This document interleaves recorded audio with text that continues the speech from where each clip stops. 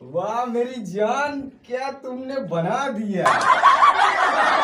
भरी शराब से बोतल चिटिक गई। वाह वाह। जब से